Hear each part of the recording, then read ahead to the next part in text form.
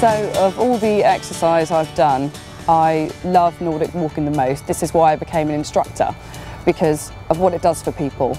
Um, they meet new friends, they tone up, lose weight, and best of all, uh, they start really enjoying exercise as a whole. It's fantastic.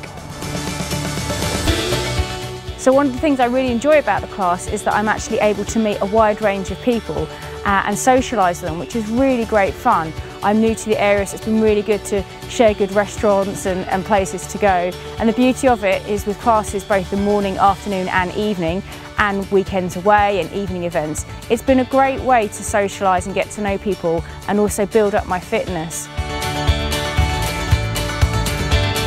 But it, it, it makes me exercise. I wouldn't be exercising otherwise. Um, I think I feel better for having come out, um, got a bit of fresh air. If, I, I, feel better in myself. I, feel more, I'm, I'm more active.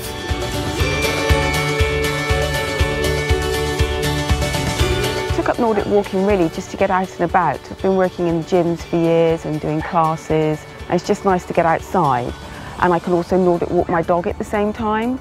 So she's been walking with us for about two or three years and she's really happy. She loves being outdoors and it means I get my exercise at the same time.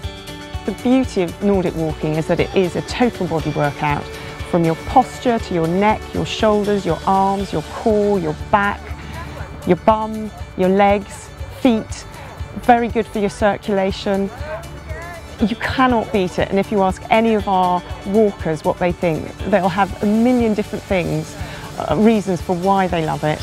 Um, mostly it's sociable outside and you're getting a full workout without even realising it.